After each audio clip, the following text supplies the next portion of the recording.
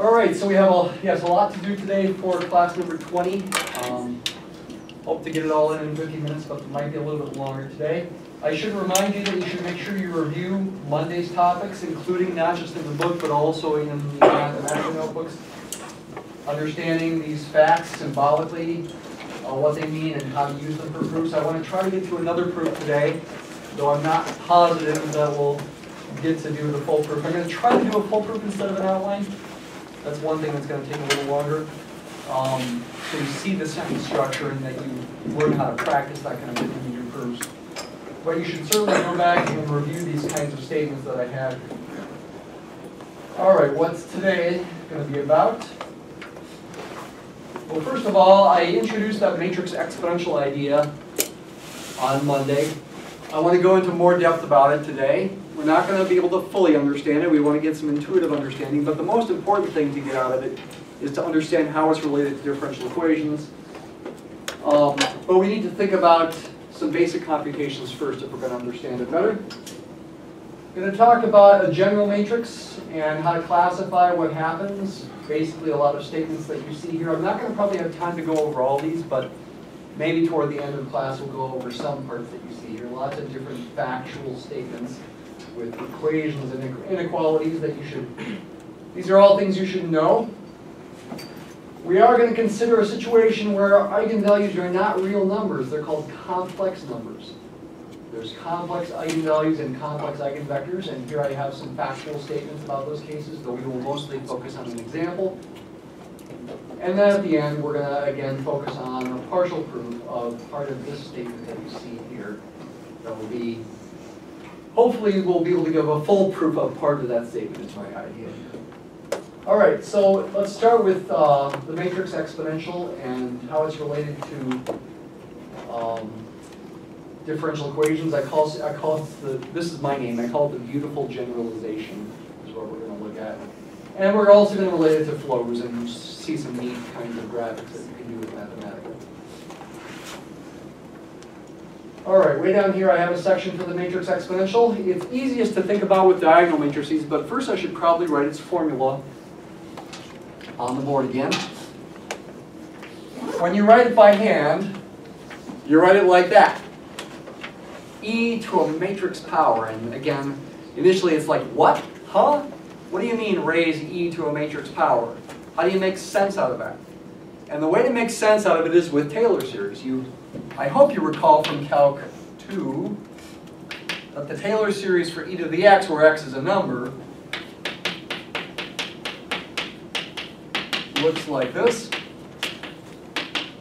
That should be something that should seem at least vaguely familiar. And ideally, you remember this exactly, okay? I'm not claiming everybody does, but that would be ideal if you could all remember it exactly. In summation form, it's an infinite sum. Turns out you can write it like this. You're adding up x to the k power divided by k factorial. Hopefully you recall what factorial means. 4 factorial, for example, means 4 times 3 times 2 times 1 Remember that, that's 24. 5 factorial is 5 times 4 times 3 times 2 times 1, which is 120. There's really a 1 factorial here, which is 1. And there's really a divide by 0 factorial there, huh? What? 0 fact, you can't divide by 0, right? Factorial. Yeah, 0 factorial by definition equals 1, believe it or not.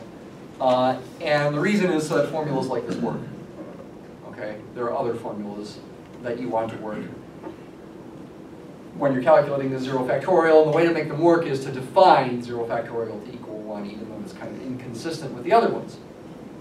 Anyway, we just formally say, okay, well that works when x is a number, and this does converge for all x. What about if x is a matrix? Well, I can't use the number 1, I have to use the analogous form of 1 with matrices, the identity matrix. And by the way, A does need to be a square matrix here, 2 by 2 or 3 by 3 or 4 by 4. I would have to have the same dimensions. Imagine this in the 2 by 2 case, because that's what we're going to think about it for, at least right now. Replace the x with an a everywhere you see an x.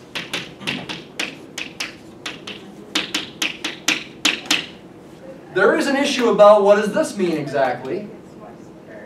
What does it mean to raise a matrix to a power, and what does it mean for an infinite sum of matrices like that to converge? Let's get a little bit of intuition about that.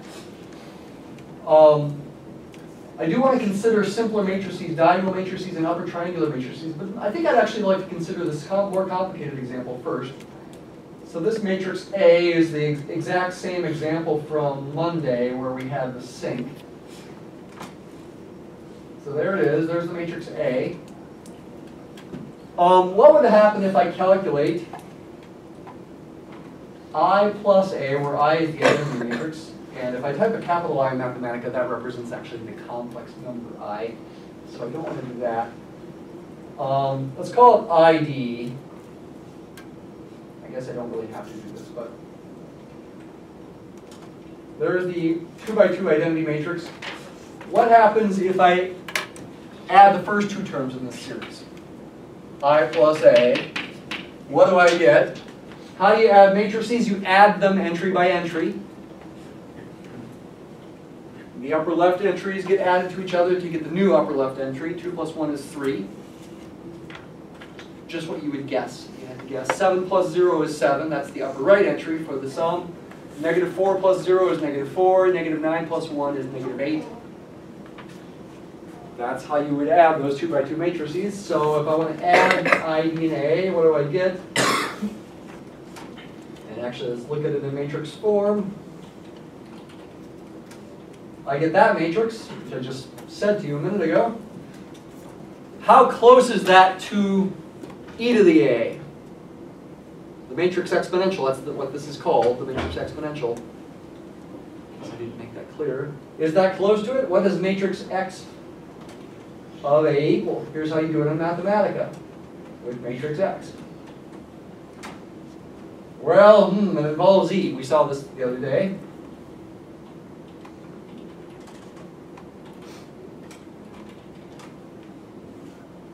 Is it close to this matrix? Are their, their entries close together? Uh, it's hard to tell. Not so close. Well, it's because we have more terms in the series yet to do. What if I consider the, some of the first three terms? 2 factorial is 2. What if I calculate 1 half a squared and add that to it? Well, how do you calculate a squared? I can have Mathematica do it, but I probably should show you by hand. Again, A is the matrix 2, 7, negative 4, negative 9. I'm squaring that matrix, meaning multiplying it by itself. I haven't told you how to multiply matrices yet. I've told you how to multiply a matrix times a vector.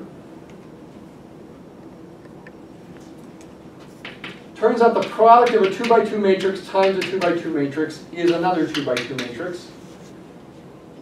I won't get into details about when you can multiply matrices, but this should make intuitive sense. Do you just multiply component by component? No, you don't. Which maybe shouldn't be so surprising since when we multiply a matrix times a vector, we don't do that. We couldn't do that. So what do you do? Well, you, you treat each column of the second matrix like a vector, and multiply the matrix on the left by each vector and put the answers in the columns of the new matrix. So for example, imagine multiplying this matrix times that vector. Same way as always. 2 times 2 is 4, plus 7 times negative 4 would be 4 minus 28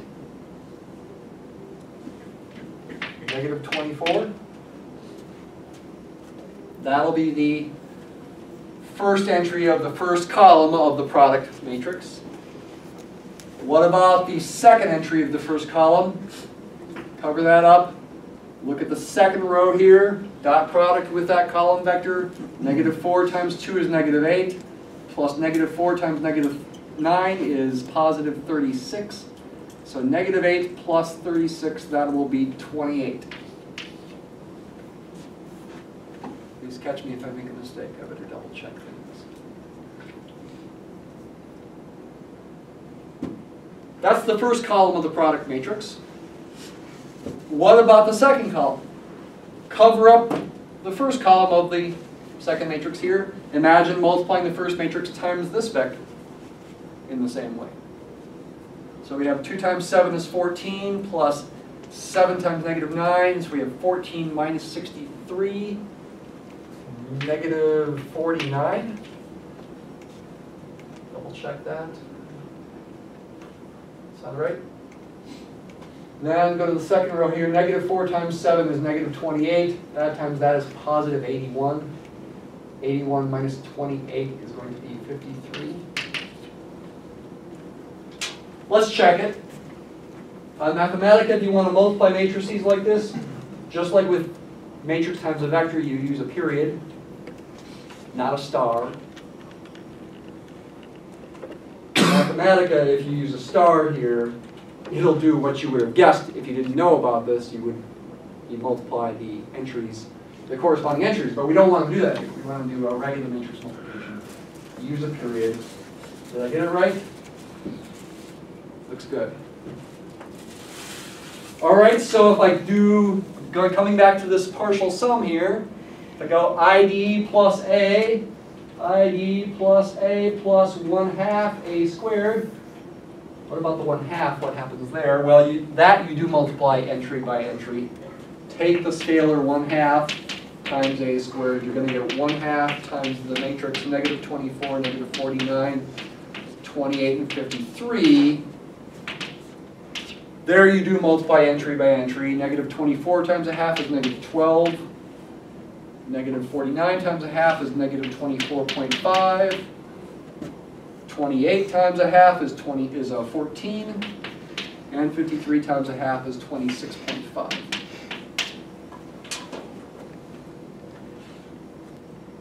Can I just put the half next to a times a? That does work.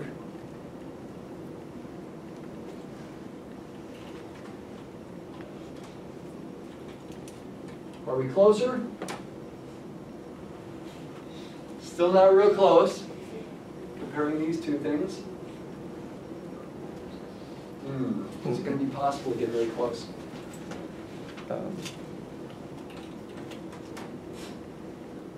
All right, I'll do some quicker, quicker calculations now. I'm gonna calculate higher and higher partial sums, higher degree partial sums for this infinite series, and we'll continue seeing how close we get as we go.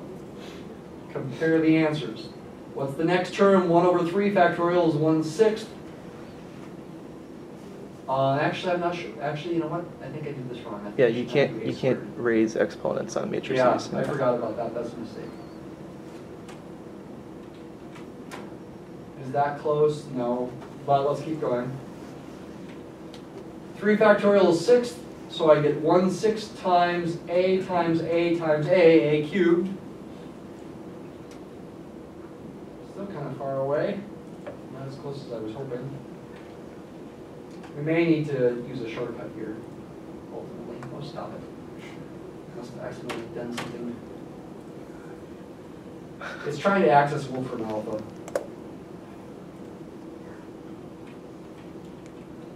Four factorial is twenty-four. This is not looking good. That is the right answer. I tried an example like this the other day and it worked nicely. Okay, I picked a bad example. A little closer. Actually, there's a shortcut way to do matrix powers without typing out all the matrices. It's a command called matrix power, like if I want the fifth power of A, do that. All right, uh, let's see. I know a way I can fix this. Let's use a summation symbol.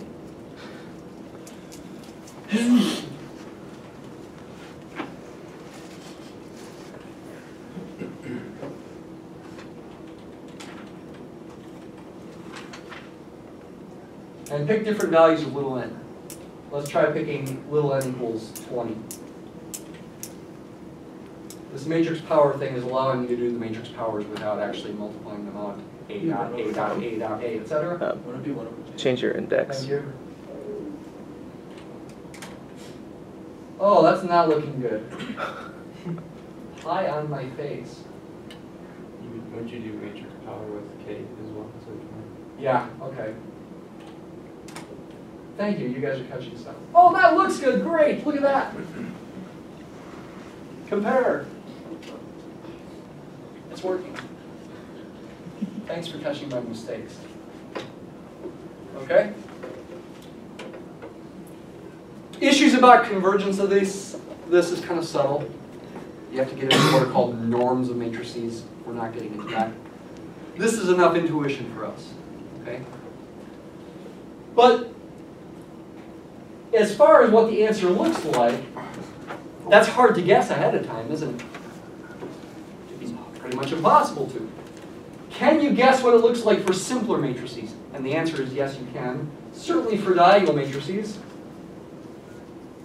That's not diagonal. What's a diagonal matrix? It's a matrix whose non-zero entries are only on the main diagonal from upper left to lower right. Like that one.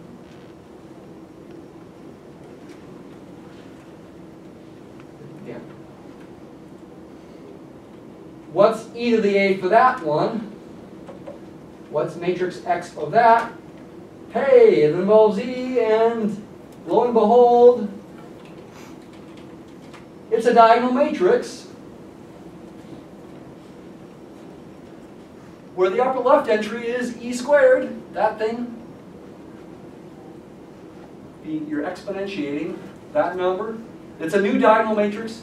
The power of the e is the same as the number there. 1 over e to the ninth is the same as e to the negative 9. Take that number and make it the power of e. For diagonal matrices, the matrix exponential is simple. And to check it out, you can, you can try it on your own with this formula. Let's Try another example, make this a negative 5 and this a, an 11. Same kind of thing happens. What about upper triangular and lower triangular matrices? Well, what are they, first of all? An upper triangular matrix is a matrix where the only, uh, ze- well, for the 2 by 2 case, uh, there's a 0 in the lower left. The only non-zero things are above that, upper triangular, and the triangle in the triangular um, is a triangle inside this matrix. My finger's drawing it. That's your triangle of non-zero entries. Your only zero entries down there. Actually, this could be zero and you can still call it upper triangular. But in general, if you have a zero there and a non-zero number there, this triangle of non-zero numbers emphasizes that that's where your non-zero entries are, and this is called an upper triangular matrix. The matrix exponential in that case is also kind of simple, relatively speaking. We still have the same numbers along the main diagonal as we have in the diagonal case. You got a non-zero number there, and it's confusing how that might be related, related to the two. Uh, I don't want to get into that. I will just say that still it is an upper triangular matrix. And still the entries on the main diagonal are e to the power of the first entry there and the second entry there. The goal is not to fully understand this matrix exponential idea. It's just to see examples and to make use of it. A lower triangular matrix would look like this, for example. And once again, you've got a similar kind of pattern.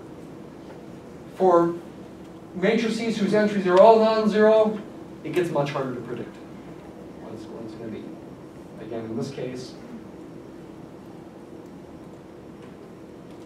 this matrix, okay, you could not predict that that would be the answer without knowing a lot more than you know. All right, that took a lot of time, oh boy.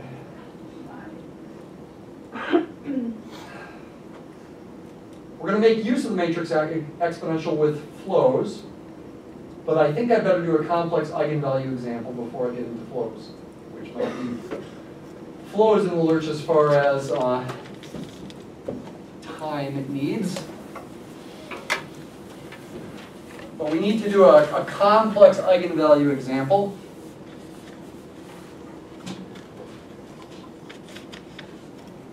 So our system in this example is dy dt equals ay, where a is the matrix negative 5, negative 1, 5, negative 3.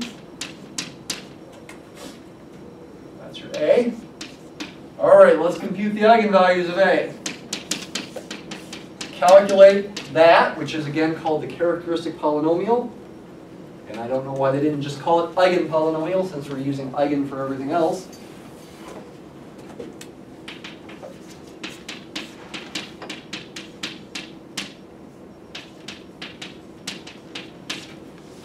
Determinant that matrix, which is going to be a quadratic function of lambda, the roots of which are the eigenvalues of the matrix. Being careful about signs here. All these negatives end up making positives when you do multiplications. Looks like our characteristic polynomial is lambda squared plus 8 lambda plus 20. What are the roots of that? You could try factoring it. If you did, you would not be successful unless you used complex numbers. Because when you use the quadratic formula, set this equal to zero and solve for lambda, you're going to get an expression that has a negative number under the square root.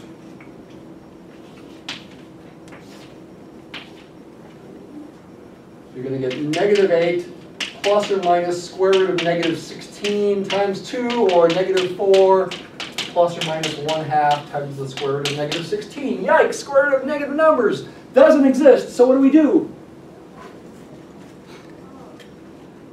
It's, it's still a regular matrix with real number entries. We could still plot nullclines for it. In fact, let's do that.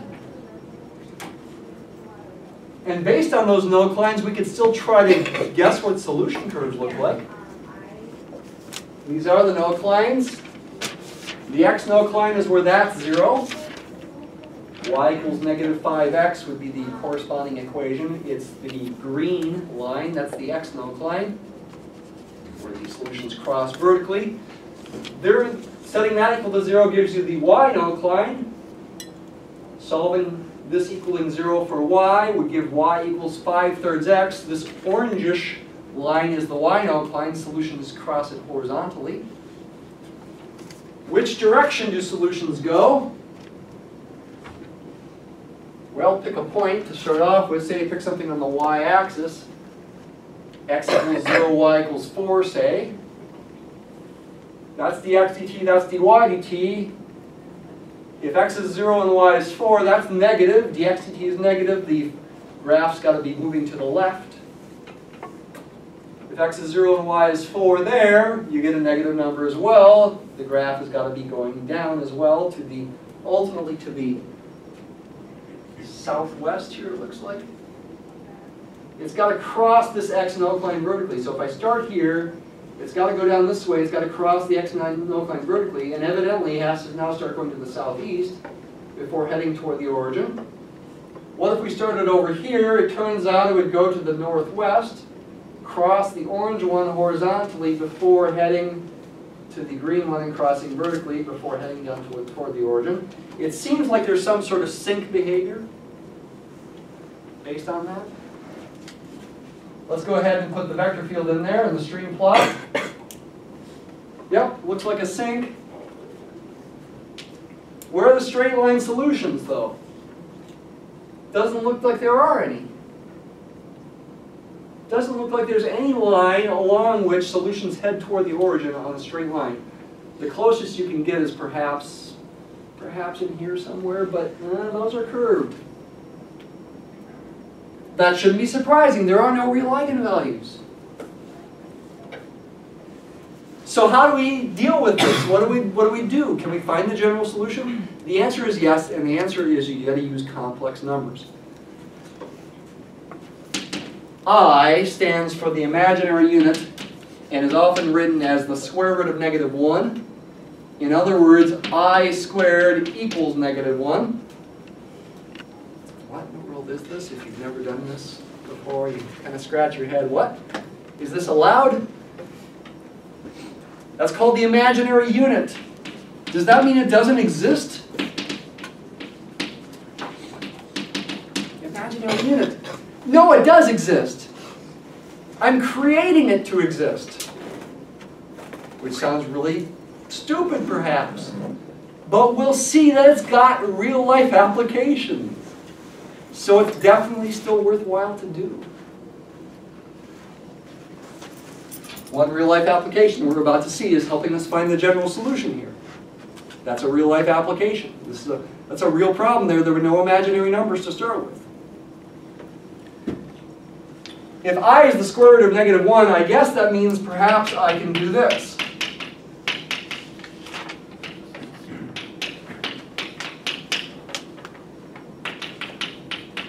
You might scratch your head and wonder whether this is justified. Turns out it's fine. Square root of 16, regular square root is 4. 4 times a half is 2. What should I put for the square root of negative 1? Put an i. I've got two complex number eigenvalues is what those are called, involving this imaginary unit i. Negative 4 plus 2i and negative 4 minus 2i are the two complex number eigenvalues. And you, you really don't have to worry about whether complex and imaginary numbers exist. They exist because we create them. We define them to exist, and they create a new number system that is fully consistent, has all the same algebraic properties of the real number system, commutativity, associativity, distributive property, that all works. Inverses. But we need to say, what does this mean for us?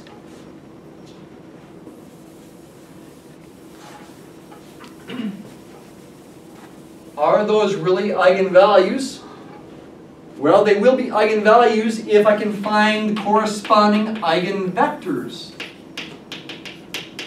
Non-zero vectors V that satisfy that equation. Or equivalently,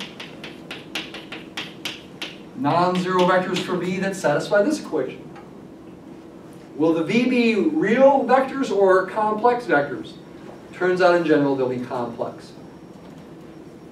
What would we have to do? Well, I shouldn't have erased this matrix here.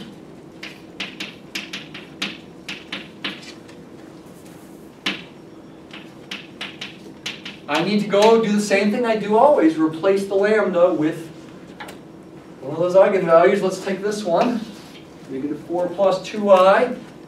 What kind of corresponding system do I get? Replace the lambda with that. And make that the coefficient of x in the first equation. Negative 1 is the coefficient of y.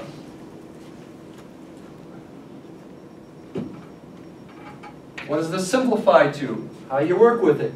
You take the negative 5 here, which is a real number, and you only work with it in relation to the real part of this complex number, that negative 4 right there.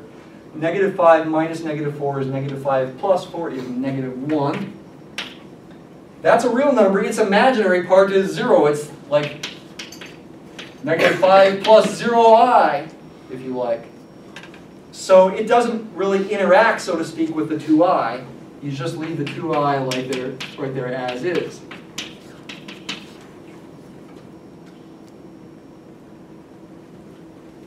Solve this for y in terms of x. y equals negative 1 plus 2ix.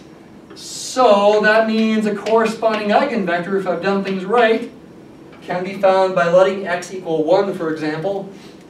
And if x is 1, then y is negative 1 plus 2i.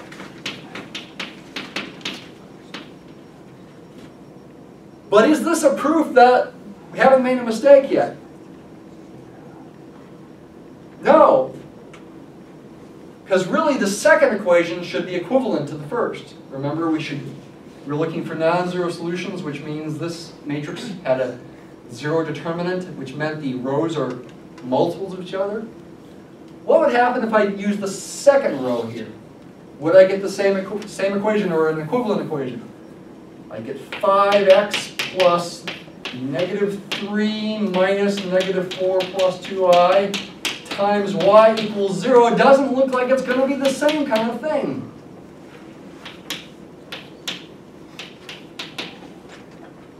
Did I make a mistake? A mistake, didn't I? Minus sign, right? Is that my mistake?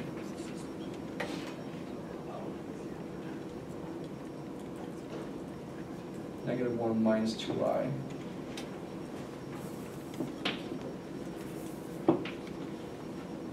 Does that look good? This doesn't look like it's gonna produce something equivalent. Solve this for y, in terms of x, I guess you get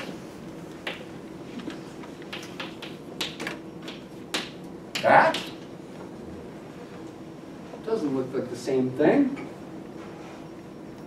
See what I'm trying to get at here? Remember, when you plug the eigenvalues into the two equations, you should get equations that are constant multiples of each other, of each other, meaning the solution set is the same. It doesn't look the same here. Well, maybe that's just deceiving. I'm having a bad feeling about this. Everything look okay here? This could be deceiving. Maybe I need to simplify that number. Maybe I need to do this division, negative 5 divided by 1 minus 2i. That can be done with a little trick.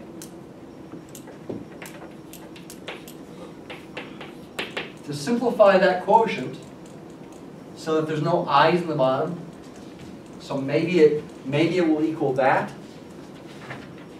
Uh, I'm not feeling good about this. Let's see what happens though. The trick is to multiply the top and the bottom of this by what's called the complex conjugate of the bottom. Take the bottom and change the sign in its imaginary part. Make it a 1 plus 2i. If I multiply it in the bottom by that, if I'm going to get the same number at the end, I've got to multiply the top by that as well. So that I'm really multiplying by 1. Why did I do that? Well, let's see what happens. Do what you would think you would do. For example, use the negative 5 here and distribute it through the parentheses there. That is the right thing to do. Negative 5 times 1 is negative 5. Negative 5 times 2i is negative 10i, just like you would guess. The great part about this is the bottom simplifies to a real number. Watch this. Uh, FOIL this. Use FOIL. First times first is 1. Outside times outside is plus 2i. Inside times inside is minus 2i. Last times last is minus 4i squared. The two i's cancel. i squared is negative 1, leaving you with 1 plus 4 in the bottom, 5. We get negative 5 minus 10i over 5. Hey, guess what? Everything is good. That equals this. This number is the same as this number, it's just disguised. Fun with complex numbers. Sometimes things are the same even though they look very different. Because those are the same, that means we're getting the same solution set for the second equation, which still doesn't prove, well, okay, looks like we haven't made a mistake, let's just say it that way. Looks like everything's good so far. Do I have to do all this with the second eigenvalue? Negative 4 minus 2i. Here's the first bit of good news. No, you don't. It's good enough just to do one eigenvalue and the corresponding eigenvector when you have a complex eigenvalue and eigenvector. I haven't told you why yet. We'll get to that.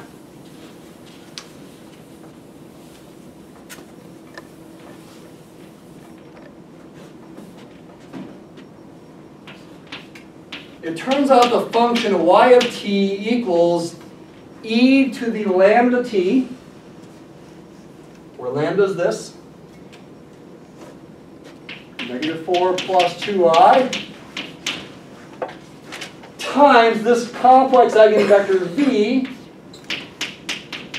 it turns out that this expression is a solution of the differential equation.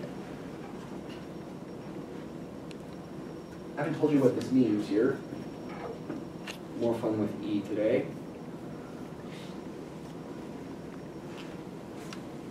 I'm not going to check it algebraically. Actually, you can check it abstractly. e to the lambda t times v is always a solution of the corresponding differential equation when lambda is an eigenvalue of the matrix and v is a corresponding eigenvector. And it doesn't matter whether these are real numbers and vectors or complex numbers and vectors. The algebra is exactly the same.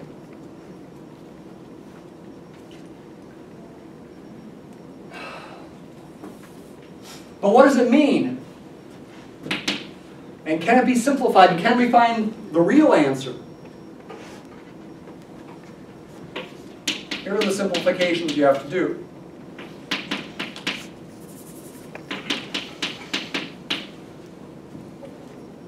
Turns out you want to first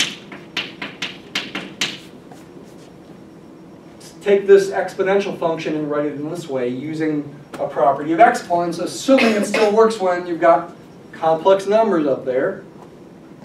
I'm making an assumption there that that still works. It does.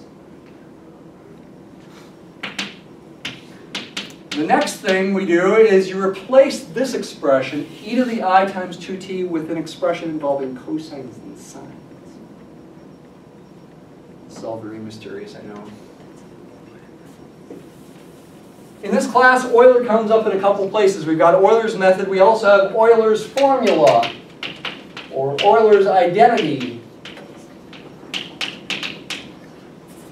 e to the i theta equals cos theta plus i sine theta. Huh? Where does this come from? Well, don't worry about it for the moment. This does lead to the most beautiful equation in the universe, by the way. If you replace theta with pi, and use the fact that sine pi is 0 and cosine pi is negative 1, you get e to the i pi equals negative 1, or as I prefer, e to the i pi plus 1 equals 0, the most beautiful equation in the universe. Everyone will agree. You get captured by aliens, they will agree. They'll let you free if you tell them that most beautiful equation in the universe. Why? Because it's got the five most important numbers in the universe, 0, 1, e, i, pi. It's got the three most important operations, addition, multiplication, and exponentiation. And it's got the most important equivalence relation, equality. Hands down, the most beautiful equation in the universe. Okay? Follows from Euler's identity, which is a more general thing. Sorry, physicists, h bar and c are not the most important constants in the universe, important numbers, because they're not numbers. They are constants, they're physical constants, but they're not numbers. Did you know that? H bar is not a number. C is not a number. Why? Why are they not numbers? They're physical constants, but physical constants are not numbers in general. Because they have units. Their values depend on the scale you use. That's why they're not numbers. Anyway, uh, this is mysterious. You can take this as a definition, essentially. You can also derive it if you assume that Taylor series for e to the x cosine of x and sine of x works when you replace x with i theta. I would encourage you to look that up on the internet, in fact. You can find derivations of Euler's formula. Numberphile, if you've ever looked for Numberphile, I believe they have a derivation. It's pretty cool. I would encourage you to look it up. We're just going to use it here. Replace theta with 2t.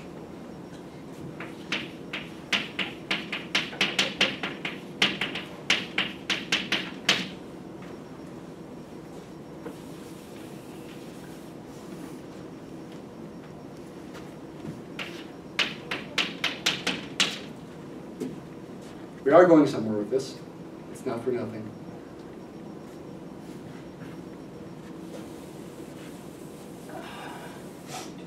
What do you do with this? You want to simplify it some more. What we want to do is we want to write it as something plus i times something else, where the something and the something else are real. Question? Did you forget it too? Yes, I did. It's good on making these mistakes so you guys can stay awake and stay on top of it here. In the top, that's a 1 up there, so you can just multiply this entire complex scalar times 1 and put it up there. And I think I'll multiply the e to the 4t through like this. On the bottom, it's a bit trickier, and I better leave myself more room.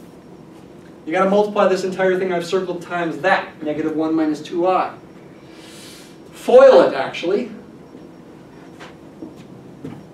Each term is gonna have an e to the negative 4t factor, but focus on this times that. First times first is cos 2t times negative 1.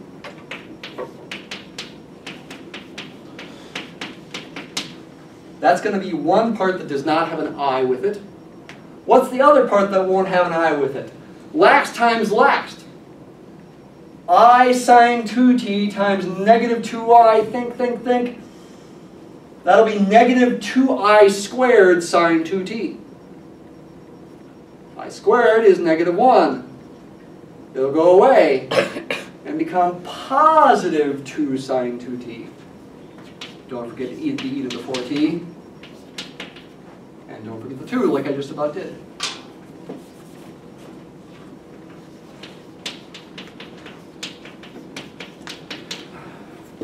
That's the part that does not involve an i. That's the real part of the answer. We're not done though. What about the part that does involve an i? That's going to come from the outside and inside terms from FOIL. Right? You all know what I'm talking about when I say FOIL. Expanding the product of two binomials, first times first, outside times outside, inside times inside, and last times last. Outside times outside, look at my fingers, cos 2t times negative 2i will be negative 2i cos 2t. I factored out the i there. I also don't want to forget the e to the negative 4t, so I would get Careful, negative 2 e to the negative 4t. It's negative 4t. e to the negative 4t cos 2t. See how easy it is to make mistakes in all this. Give myself quite enough room. Inside times inside. That times that. Factor the i out, factor the e, well, put the e to the negative 4t through. I'm going to get minus e to the negative 4t sine 2t. Yikes. This crazy looking vector can be se separated into a real part plus i times an imaginary part. This part here, I wish I had colored chalk, is the real part. This part here is the so-called imaginary part. It's a real vector, but it gets multiplied by the i. Here's the magic in all this. These two real valued vector functions are two solutions of the original system that are real, non-imaginary, non-complex. So,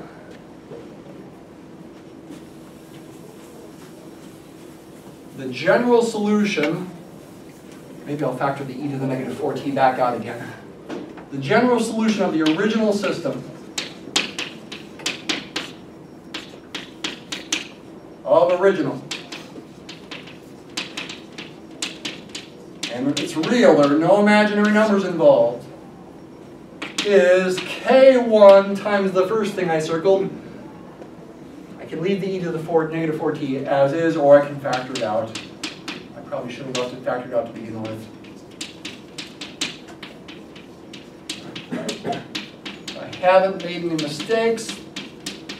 I get that plus k2, another arbitrary constant, times the second thing I circled without an i.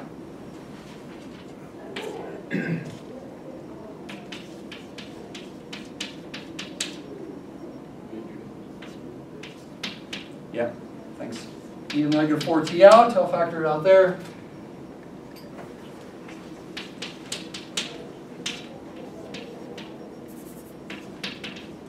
Very easy to make mistakes, but uh, hopefully that's right.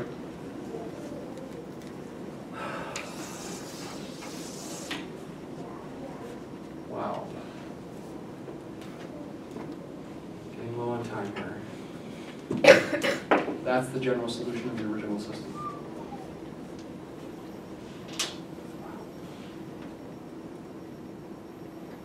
What does DSolveValue give?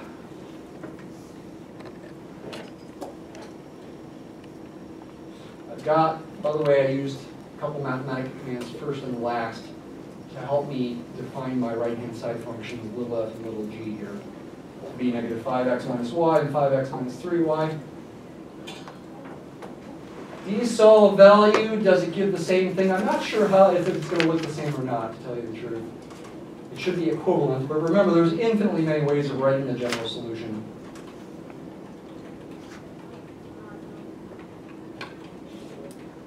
I'm not sure how similar it would look. I hope it's at least recognizable as equivalent.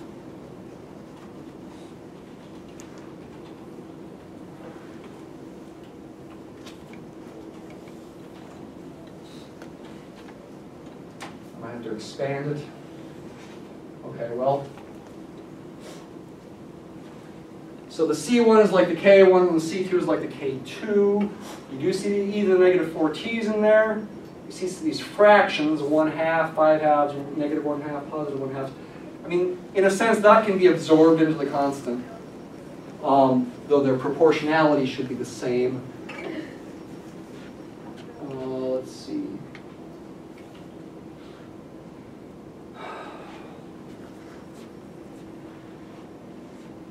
See, sine 2t there times the k2.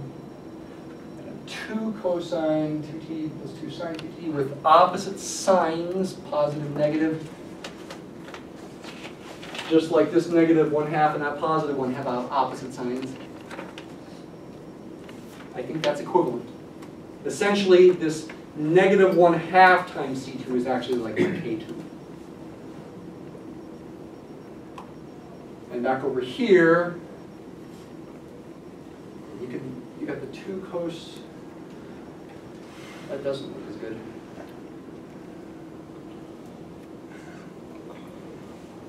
That part doesn't look as good, so that's making me feel less confident about it. I'm not sure if I haven't made a mistake, okay? I'm gonna type this stuff into Mathematica after class, and I'll check it. Nobody sees any more mistakes, do they?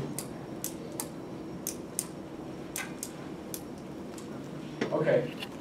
Uh, I think what we'll do in the time we have remaining, we'll go, we'll go a little overtime here, is skip the proof. Friday we'll focus more on proofs for sure. And go back to the matrix exponential and flows. I did say in the email from Sunday that there will be a, a thing related to the matrix exponential and flows on the test. Let's go back to the original sink example that was a non-spiral sink. Again, you can check these eigenvalue and eigenvector computations. I don't have to re-enter this stuff, but these are codes you can do to check. This works also for the complex case. Okay, and I'll, before I put it on Moodle, I'll, I'll check that as well, the complex example. What do you need to know? This is a key fact I mentioned. In fact, this is what I call the beautiful generalization. Maybe I should go ahead and call it the beautiful generalization here.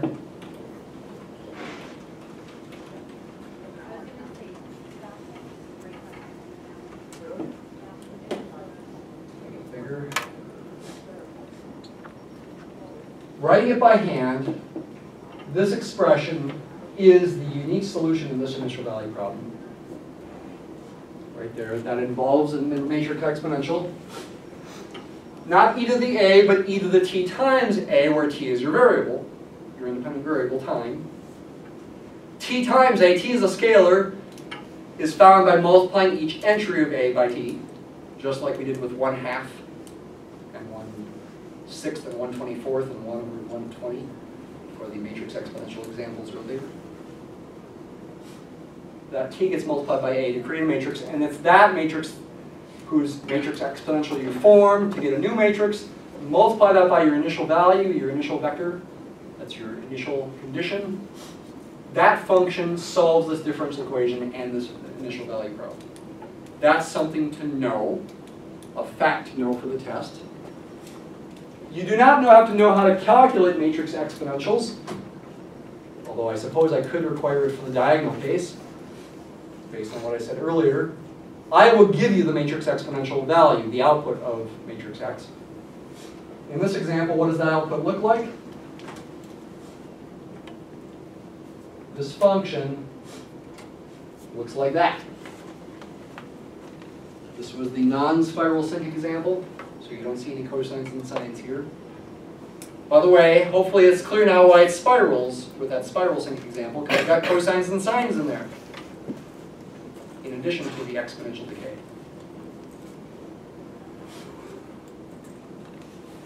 Does that function satisfy the initial value problem? This checks that it satisfies the initial condition, plug in t equals zero, you get the initial condition. Does it satisfy the differential equation? Its derivative should equal a times itself. When I enter these things, I should get the same thing, and I do. It generates the corresponding flow. Yikes, flow. What is a flow? Here's the symbolism I've used before. Fancy phi, with a t up there, that's not an exponent, but acts like an exponent. It's not, though. This is a family of functions, in this case, functions of a vector variable. One function for each value of t. Its formula is the exact same formula as the other function where this is thought of as a solution of the differential equation, except now we get rid of the zero. Y is still the initial condition here in this symbolism. Initially I wrote it as y0 to emphasize it as being fixed, but now we think of it as a variable. For each fixed t, this is a function of y. Back in the one-dimensional case, the graphs of these things were straight lines. What are they in this higher dimensional case? You can't graph them as straight lines anymore, but they are linear functions. This is, for a fixed value of t, a linear function of x and y. You only see x and y to the first power. Think of these e's with t's as being fixed numbers for any fixed value of t. What's its importance? Just like on exam one, you should know how it's related to solutions by iteration. If you use this recursive equation right here, based on a certain initial condition, y0, and you iterate this function, meaning you plug y0 into it for a fixed value of t, like t equals 1, the time 1 map, you see where the, the point is after one moment in time goes by. It matches what happens with the differential equation. If you follow the solution curve for one moment, for one unit of time, you'll end up at the same point apply the function again, plug y1 into it to get y2, you get a new point. That's where you're going to be after two units of time have gone by from the original one. It's matching up the differential equation when the equation is autonomous, as we were dealing with here. Nest, list, and table in this kind of situation give you the same points. That's the thing to see here. But more importantly now, give me one minute. More importantly now, we want to understand what happens to entire sets of points onto this flow. And that's where the cool animations come in. I don't claim you're going to understand this right away, but with time and work, we can. What do I have here? I have created a set, a parallelogram in fact, with parametric plot, and these auxiliary variables that I've called u and v. And what I want to imagine is I want to imagine that parallelogram as sitting in a thin sheet of fluid. Maybe it's like a parallelogram-shaped oil spill. Nasty example. And what's going to happen is it's going to follow the flow. As time goes by, we watch how this thing follows the flow. play this. And you see it moving with the water molecules. It's changing shape. It stays a parallelogram in this case, though the parallelogram gets skinnier and skinnier. And ultimately, if I let this go further and further, it would actually would, um, in, this is a non-spiral sink example actually, so it's not going to rotate around the origin. With spiral sinks, they rotate around the origin as they go. You don't have to stick with parallelograms, you can use other shapes. This one, we see what happens with a circle, or a better way to call it here. And see how that moves under the flow. Okay, so we really are getting back to the fluid flow kind of application, not worrying about how realistic it is. Can fluid really do that? We're not getting into that. But we are thinking about it and using that as an imaginary application. Because it helps you understand. All right, thanks for bearing with me longer than normal. See you on Friday.